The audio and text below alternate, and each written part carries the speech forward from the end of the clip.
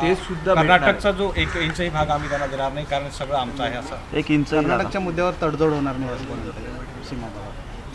कर्नाटकच्या मुख्यमंत्र्याची भूमिका अशी दिसते आहे. आमचं ते आमचं आणि तुमचं ते आमच्या बापाचं. पण आमचे मुख्यमंत्री काय करतायत? हा आमचा पुढला प्रश्न आहे. कर्नाटकचे मुख्यमंत्री काय बोलतायत आणि काय सांगतायत? याच्याशी महाराष्ट्राला काय पडलेलं नाही आहे महाराष्ट्राचे मुख्यमंत्री. जे सध्या इकडले प्रमुख आहेत. ते मुंबईना कशा प्रकारे उत्तर देत आहेत? किंवा ते या लढाईमध्ये उतरले आहेत की नाहीत कुठे आहेत? गेल्या अनेक दिवसापासून या प्रश्नावर महाराष्ट्राच्या मुख्यमंत्र्यांनी तोंड उघडलेलं नाही. कालसुद्धा राष्ट्रवादी काँग्रेस काँग्रेस आणि शिवसेनेचे खासदार आमचे मिंदे गटाचे नाहीत. हे अमित शहाना भेटलेलं त्यांनी आपली भूमिका मांडली. लोकसभेमध्ये सुद्धा राष्ट्रवादी आणि शिवसेनेचे खासदार उठले काँग्रेसचे खासदार उठले. आणि हे जे खासदार जे आहेत पळपुटे ते गप्पा बसले. त्यांनी सीमा प्रश्नावरती तोंडही उघडलं नाही. भूमिका घेतली नाही याची महाराष्ट्राच्या इतिहासात नोंद राहील. मुंबई म्हणतात एक इंचही जमीन देणार नाही.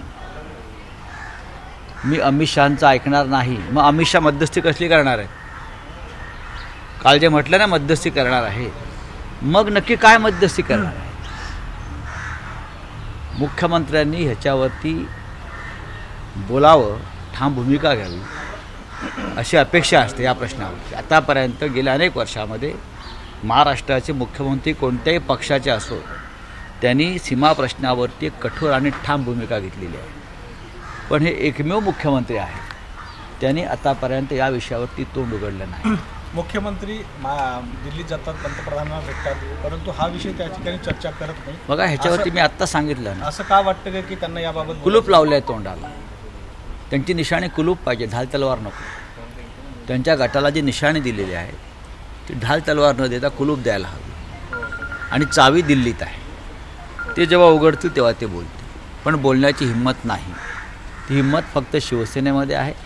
काल सुप्रियाताई सुळ्यांनी जोरदार भूमिका मांडली. आमचे विनायक राऊत अरविंद सावंत बरं का आमचे ओमराजे निंबाळकर या सगळ्यांनी जोरदार भूमिका मांडली आहे पार्लमेंटला.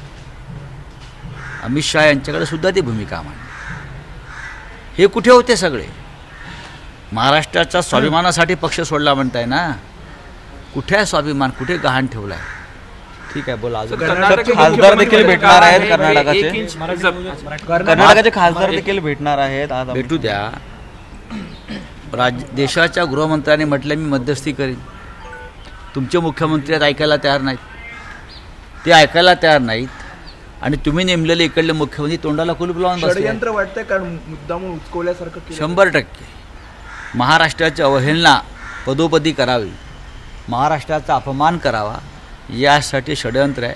अशा वेळेला राज्याच्या मुख्यमंत्र्यांनी जोरदारपणे उठून उभं राहायचं असतं. तेच बसले आहेत. काल चंद्रकांत पाटलांनी देखील वक्तव्य केलेलं आहे. डॉक्टर बाबासाहेब आंबेडकर असतील कर्मवीर काही भाऊराव पाटील असतील किंवा ज्योतिबा फुले यांनी एकंदरीत बोलले की भीक मागून यांनी शाळा सुरू केली आहे. असं वक्तव्य असं आहे की ज्या पक्षाचे नेते छत्रपती शिवाजी महाराजांचा अपमान करतात ज्या पक्षाचे नेते शिवाजी महाराजांना आदर्श मानत नाहीत ज्या पक्षाचे राज्यपाल सावित्रीबाई फुल्यांचा अपमान करतात ज्या पक्षाचे मंत्री आणि प्रवक्ते छत्रपती शिवाजींनी औरंगजेबाची माफी मागितली असं म्हणतात त्याच पक्षाचा हा वंश आहे. हे अखलेचे कांदे आहेत सगळे. कोणी भीक मागितली? मग तुमच्या तिजोरीमध्ये जे पैसे येत आहेत पक्षाच्या ती भीक आहे असंच मानलं पाहिजे. आणि जे खोके तुम्ही वाटलेत महाराष्ट्रात सत्ता आणण्यासाठी ती सुद्धा भिकत दिली असं म्हटलं पाहिजे. ज्योतिबा फुले डॉक्टर बाबासाहेब आंबेडकर हां कर्मवीर भाऊराव पाटील विठ्ठलरामजी शिंदे ह्यांनी लोकवर्गणीतून संस्था उभ्या केल्या लोकवर्गणीतून. आणि डॉक्टर आंबेडकरांनी त्यानंतर आपले डॉ- हे कर्मवीर भाऊराव पाटील यांनी कधी ज्योतिराव फुले एकेकाळी ज्योतिराव फुल्यांचं उत्पन्न हे टाटापेक्षा जास्त होतं. आपल्याला माहिती आहे का?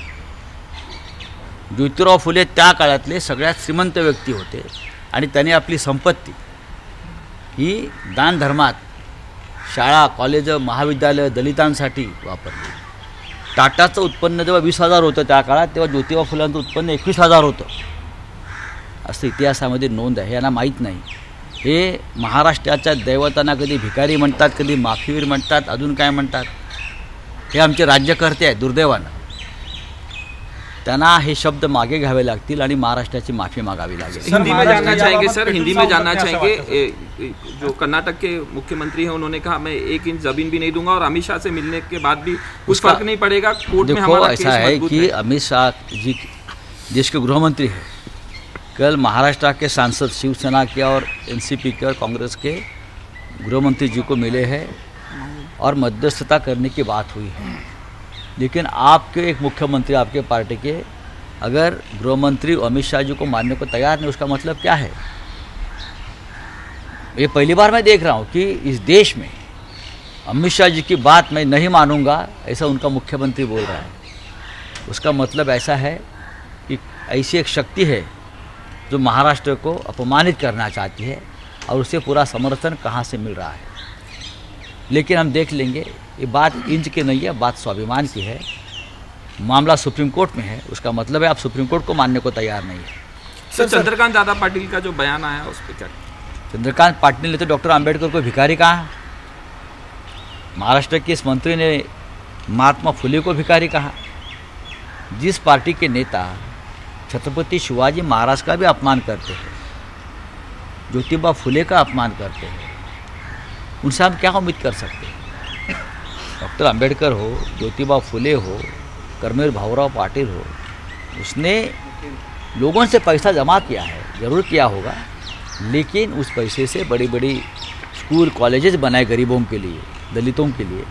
आप उसको भीख बोलते हो, मुझे लगता है ये सरकार भिकमंगी है। सर सर, जीएसटी का पैसा जो नहीं दिया जा रहा है केंद्र सरकार से जी- पैसा नहीं उसको लेके पूछना चाहते क्या? कि ममता बनर्जी ने विरोध किया है सामना में आपने लिखा है? लिखा है ना।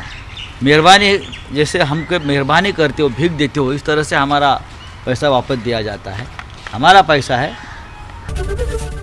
एबीपी माझा उघडा डोळे बघा नीट।